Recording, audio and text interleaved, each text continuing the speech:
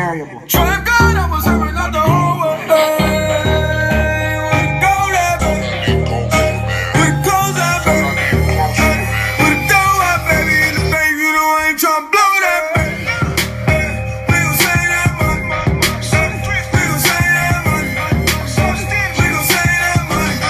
What we do, we gon' save that The money. rag gang got it all wrong.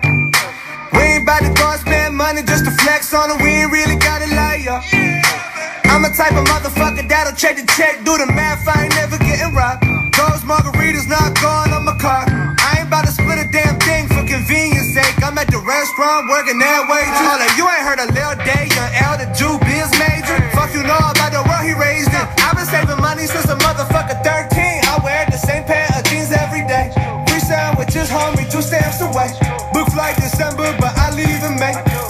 Generic, but still work the same. I get logins for Netflix for my cousin Greg.